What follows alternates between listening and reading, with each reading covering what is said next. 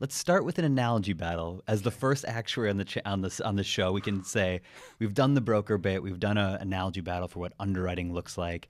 Um, you you know the the analogy battle how it works. Um, so I'll start with my thoughts, and and you can probably do a vastly better one than me.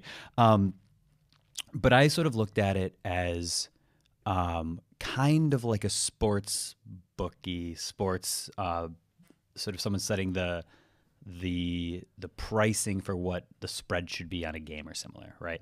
And you're looking at huge amounts of disparate data. How are different teams doing? Are certain players injured? Is it the weather in a certain stadium? Like, does that change the likelihood of teams' performance? And you try to set what you think the spread will be for a game to optimize bets in, but minimize sort of how much you might lose there. And therein lies the end of my analogy. Different. All right. Okay. Well, so at least that's uh, that's pretty good. So I still would get to live in Vegas Yep. potentially. Yep. Should See, living right. your dream Nice, of, always being tan and sitting in plenty of sun. nice warm place. Yeah, I think um, when I think about it, Mm. so I'll go a little farther afield uh, for for my approach to it. So we um, we're fairly big Marvel fans in my house, and uh, one of my favorites is Spider Man, right?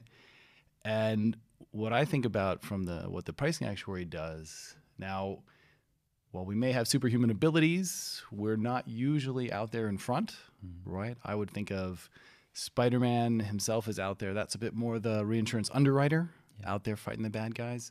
But where the pricing actuary tends to sit is his sidekick, his or her sidekick. So this is Ned. This is the guy in the van or at the at the base. He sees everything. And he's got this is happening.